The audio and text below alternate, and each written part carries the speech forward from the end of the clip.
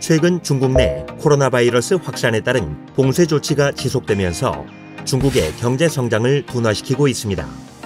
경제 수도 상하이를 비롯한 창장 삼각주 도시들의 봉쇄가 소비 심리 위축 및 공급망 불안정으로 인한 산업 생산, 수출입 부진, 투자, 고용 감소로 이어지는 양상입니다.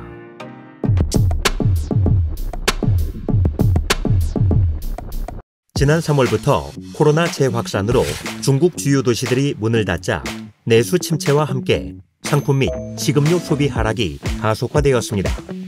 2022년 4월 중국 내 소비는 전년 동기 대비 11.1% 감소했는데 특히 자동차, 귀금속, 의류 부문의 하락세가 가팔랐습니다. 고정자산 투자는 부동산과 인프라 분야 모두 마이너스로 전환되면서 전년 동기 대비 13.1% 감소한 6.8%를 기록했습니다. 중국 내 산업 생산은 제조업 부문의 하락이 도드라지면서 전년 동기 대비 2.9% 떨어졌고 신규 고용 역시 올해 3월부터 대폭 하향세를 타며 6.1%의 실업률을 기록해 2020년 4월 이후 최고치를 경신했습니다.